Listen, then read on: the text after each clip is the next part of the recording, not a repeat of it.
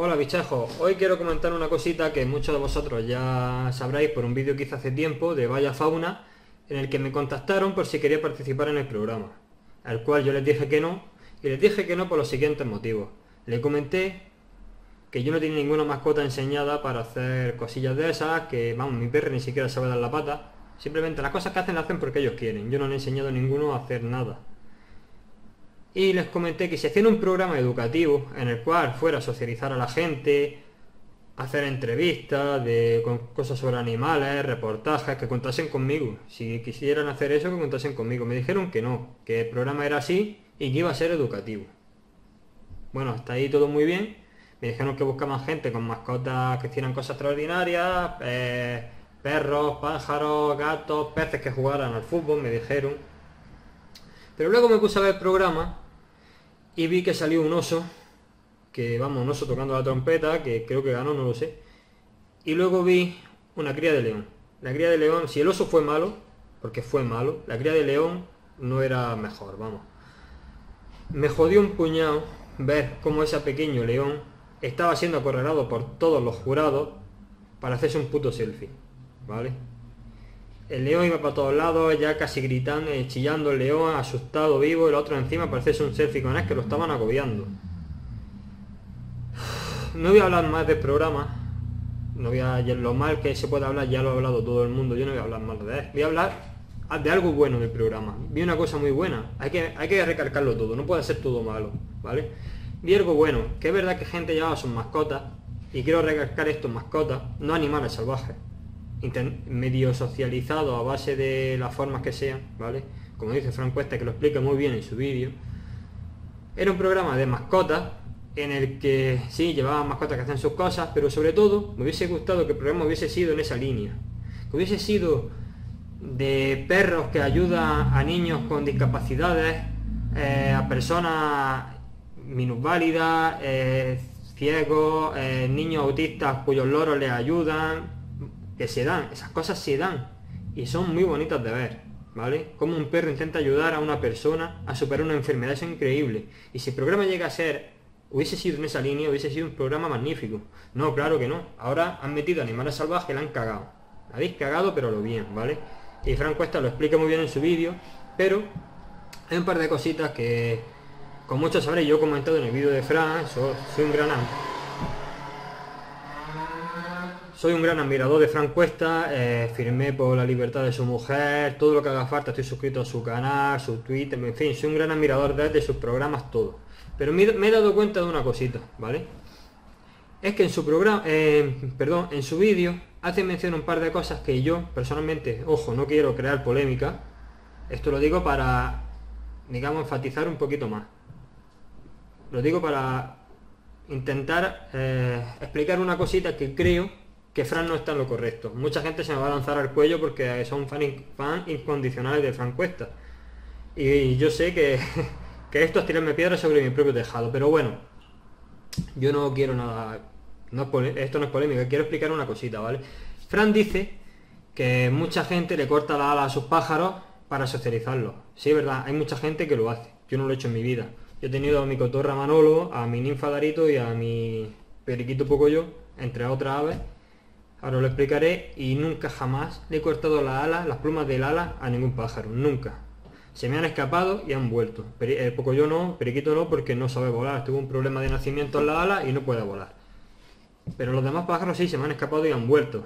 No, con esto no quiero decir nada de que me quieran más que a otros, ni tal y cual, ningún rollo de eso, no. Os voy a explicar un par de cositas, porque Fran dice que probéis abrir la puerta a, vuestros pájaros y ya veis si se van, si os quieren o no os quieren y tal y cual, ¿vale? Yo quiero explicar una cosita de esto, ¿vale? Porque los fans de Fran son algunos, no todos, algunos son muy radicales, ¿vale? Eh, digamos lo que dice Fran va a misa y no siempre las cosas son así.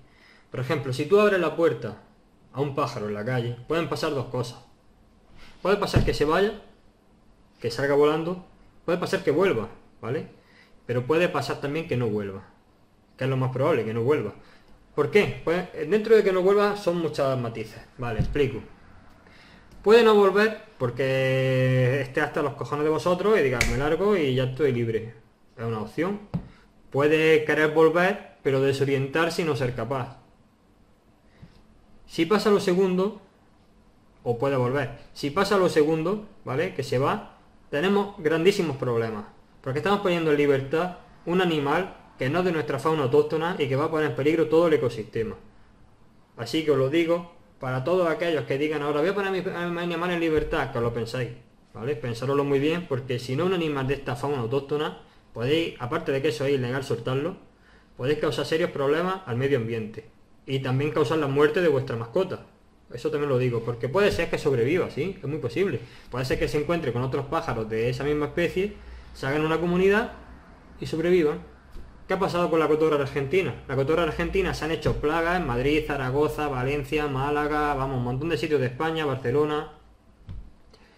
Y, y es lo que ha pasado, se han hecho plagas, se han adaptado, no tienen depredadores naturales, han desplazado a la especie autóctona y no hay que lo, y no hay que controlar esa plaga. ¿Qué está pasando ahora? Lo están matando. Lo están matando. Simplemente podan los árboles y se cargan. Y se cargan a los polluelos, pero sin miramiento. ¿Por qué? Porque una plaga chilla mucho, hace mucho ruido y desplaza a nuestra especie autóctona. Pues los mata. Eso es lo que pasa cuando ponemos una especie invasora. Bueno, una especie en este caso invasora no, una especie exótica que no es de aquí, la ponemos en libertad. ¿Vale?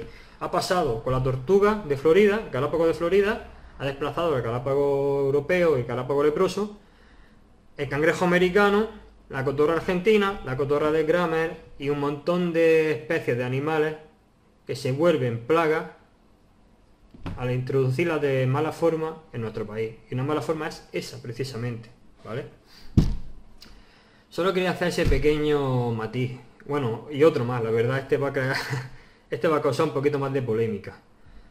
También hace, he visto los comentarios que se han mandado por Twitter, eh, Frank con, algunos miembros de, de los jurados de Telecinco, y otros ITT, no sé qué, o TT, no sé cómo se llama.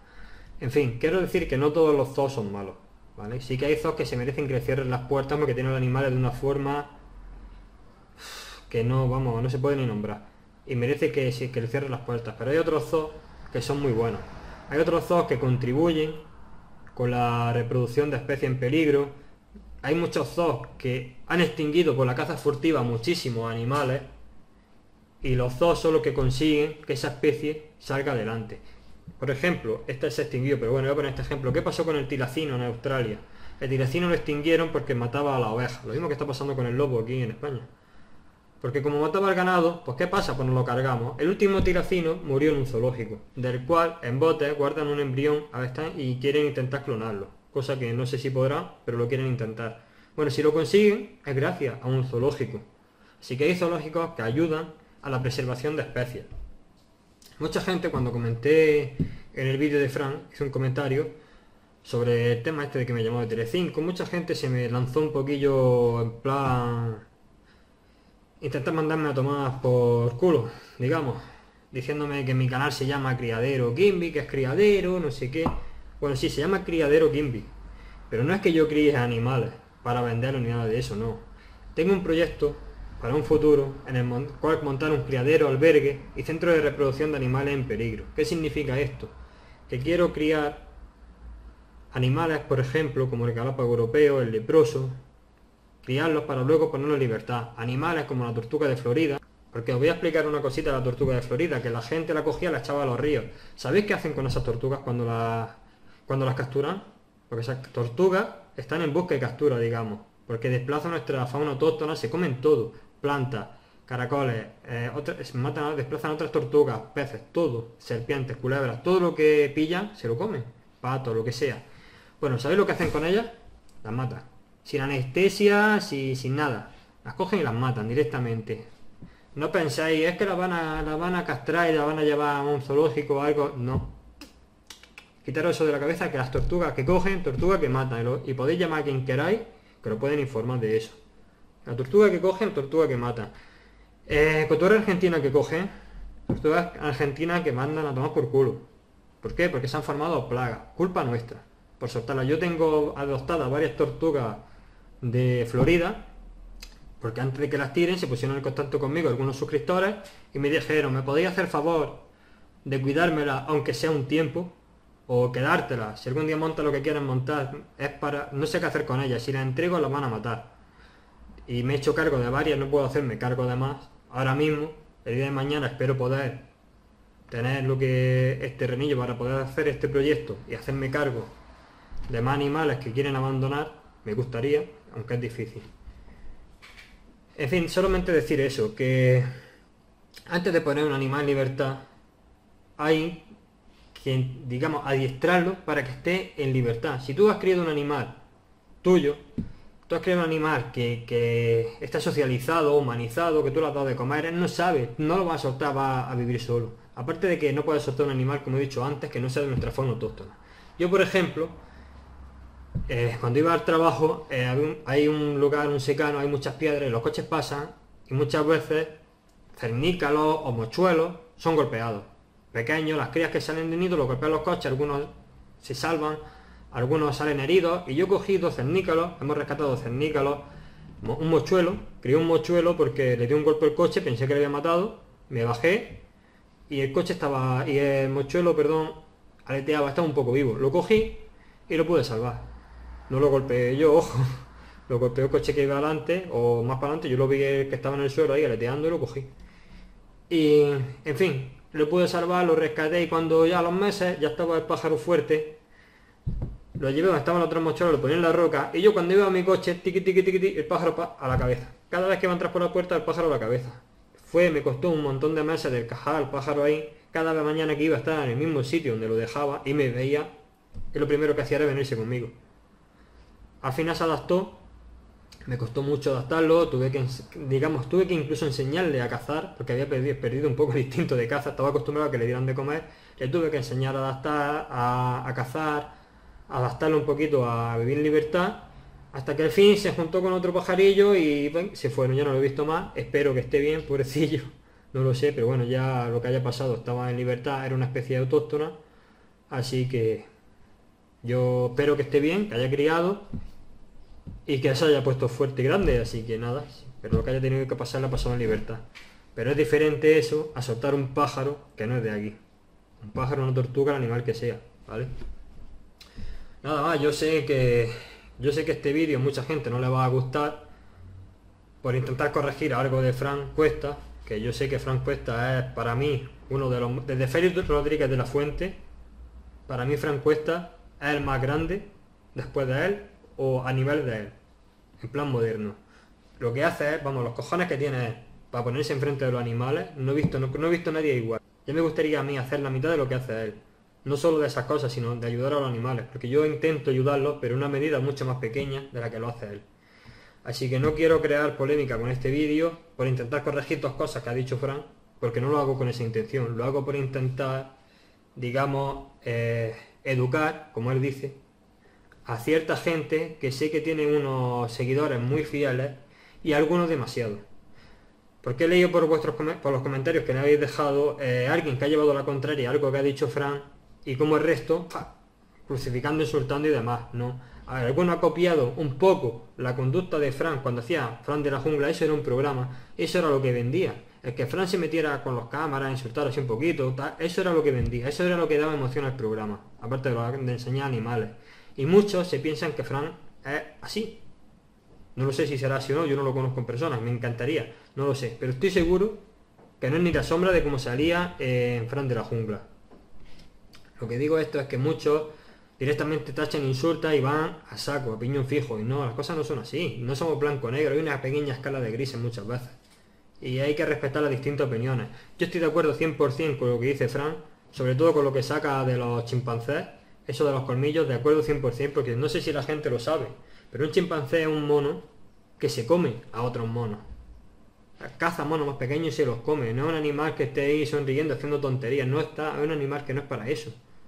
Es un animal castigado, como dice Fran. Y estoy de acuerdo con lo que dice. Si es que estoy de acuerdo solamente en esos dos pequeños matices, que no podemos poner un, un animal en libertad así como así, sin pensar en las consecuencias, y que no todos los zoológicos son malos, solo por ser zoológico y tener animales en cautividad, porque muchas veces eso ayuda a preservar la especie, ayuda a preservar la especie y ayuda a que gente que no tiene la capacidad de conocer animales los conozca, los aprecie, quiera aprender de ellos, quiera estudiarlo y quiera protegerlos. Porque si Una persona que no ha visto un león en su vida, va a un zoo, ve un león y dice, hostia, esto qué animal es, qué guapo, ¿no? Voy a meterme información un león. Coño, el león está en peligro de extinción. Aquí hay unas firmas para, para que este león, para intentar ayudar a salvar este, al león. Coño, pues voy a firmar. Claro, pero si no lo has visto, pues te da igual. Si no con un león, pues un bicho. Y furtivo hay así. Y la caza furtiva no somos capaces de pararla, no la hemos parado nunca. Y es muy difícil de parar. Eso es lo que de verdad teníamos que luchar contra los furtivos. Pero es muy difícil. Pero en fin, bueno, es mi opinión. Yo sé que me van a llevar críticas seguramente, que me da igual. La verdad es que me la trae un poquillo floja las críticas que me puedan venir, porque es una cosa que creo yo de corazón que es así. Cada uno lucha a su manera. A gente que se hace vegetariano vegano, yo no lo soy. Me encantan los animales, pero yo de, de luego no soy vegetariano ni vegano. Pero eso no significa que no respete a los animales. Hace poco estuve hablando con una chica, una chica que era vegana, y empezó a decirme, no todos son iguales, empezó a decirme que, pues que somos asesinos, que si no respetamos la naturaleza, que si el ser humano somos carroñeros, que de, la época prehistórica fuimos carroñeros, cosa que no considero cierta, pero bueno, oye, estuvimos hablando, al final llegamos a la misma conclusión los dos, que tenemos que respetar todos los puntos de vista y y la cosa es que cada uno a nuestra manera intentamos ayudar a salvar el mundo. Simplemente tenemos que respetarnos, intentar hacer todo lo mejor por ayudar a los animales, que es lo que realmente nos interesa. Así que bueno, nada más. No voy a soltar más el rollo. Eh, lo que queráis, me da igual sea bueno o sea malo, yo he dado mi opinión. Que nada.